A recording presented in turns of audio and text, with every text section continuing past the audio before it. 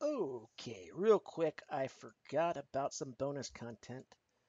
Inside the zip file for the hotkey configuration version 2.0, you will find a different Excel spreadsheet called Day Trade Position Scale Out Calculator. I'm going to go over how to use that real quick if you want to reference it or use it. It's just a little side tool I created for helping me debug some stuff. Figured I'd give it to you guys to use it if you just want to do it. It helps you visualize. So the way you use this is basically going to show you what different scaling out will do. So you basically type in an entry price. Let's say our entry price is $20. That's what we get in at. Our stop price is going to be behind. So we say 2018. It, oh, no, that's way too close. Uh, we're going long. Let's do 1975. So 25 cent stop distance shows it there. You don't type anything in that one. $250 risk is what we're risking. That's just based off of these. These are the color keys. So these are your user change. Is actually got to reverse that. Uh, that should be blue. Oh well, we'll fix that before I send it out. Quantity down here. So we want to say we were doing $500 shares. So that actually is a risk is $125. So now we say, okay, we use these just notes. Yeah, I just typed just to keep track. Say we want to say at we want to sell at 25% at an R1. So execution factor is your R factor. So that would mean the stock would have to get, since this is a 25 cent stop distance, stock would have to get to 2025 for one R. So say you want to scale out, a lot of uh, the strategies mentioned mention that they scale out at one, one R. I stopped doing that because I tried it for six months and I don't know, I found I wasn't making as much as I should have on trades. So I started scaling out like 1.5, and that's what this calculator helped me decide essentially to be able to maximize my profits. So, but say you do one R on that first one, your execution price is 20, 25, your execution P&L is 31, 25. So that's what you made.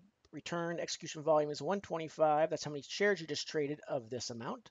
375 is your running total that your remaining balance. So your P&L, your risk to reward ratio, if you were to basically break out a dead even right now, it'd be 0.25.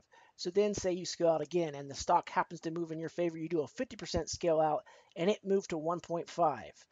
That's your values for those. That's the P&L you returned and your returning shares. You can't do have a half share, but Excel we do. I just don't like doing the math for that, so we'll just leave it. But uh, keep in mind you can't have a half share. So here, now say you want to get out at break even. All you do is you go one for 100% remaining you go execution factor of zero for meaning your break even. If you wanted to do the stop, you'd do a minus one. That would be your minus one would be zero for break even. You got out of break even. So your return on this $125 initial risk, that was your, your willingness to lose on that, is your return is going to be $102 rounded up your risk reward ratio, the ratio between these two, is going to be 0.8125. So I generally like to have it 1R. So I used to do, I used to do a lot of 0.25 scale outs manually. But as I've tried to take out the emotion of trading and essentially make it so that it's a, I'm just picking the entries and the computer is essentially handling everything else for me. It takes the emotion away. Uh, it becomes more systematic in that way. And so I now do a much different approach. So I would scale, say 1.5. I might do, I might take out 15% at 1.5. If I get to two, it might be 0.25% of the remaining. And three, and then back 100% out at, let's say, yeah, one to one. So it pulled back. Now, obviously that's not a realistic trade because you're going to, the math got fudged up. What up, where up? Oh, five, huh? Supposed to be 0.5. That's why the math got fudged. Okay, so now the difference is, you can see the difference between the last one. If you happen to be setting your price targets at a, and being accurate with your price targets. That's one thing I learned in, in crunching my data. I learned that I was actually pretty accurate in picking where the stock's going to go, but I was impatient emotionally. So I'd start scaling it one to one, maybe 1.2 to 1, 1.5 to 1, and I would never be able to crack the risk reward ratio or I would crack it be barely above one. So my average risk reward ratio was below one, which means I have to win more than you know 50% of my my trades. So this whole change in strategy for me on what the way I trade and the, setups I take uh, is this something similar. It would have returned 240 on 125 risk and almost a two to one risk reward ratio just by tweaking. So that's what this does. This, this allows you to just go in here and plug in different numbers of how you want how you want to simulate a scale in an optimal position uh, and what it's going to do, just so you can visualize it. It's not going to you know tell you anything, but it it does help you visualize you know what different tweaks in your strategy will do. Maybe you tweak it instead of taking your first you, you do a simulated of what your normal trades look like. You say, you know what, instead of taking the first order at one to one, instead of doing 25%, I want to do 15%. Punch that in, see what it does.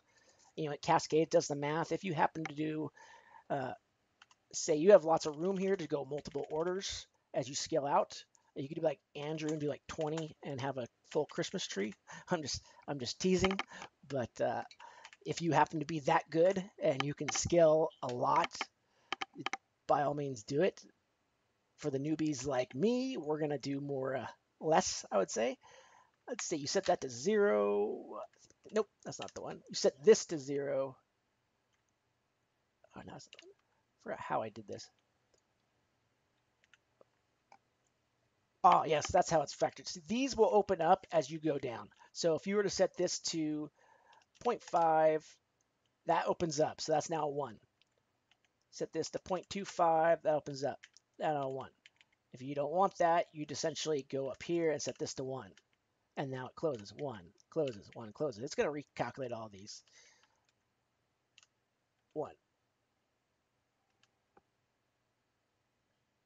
And say you were to get out at 100% uh, at break even here. So then you have very little in terms of that. Just an extra tool I included. I, there's probably some other tools on here. Uh, just different scaling calculators. I didn't do guides on these.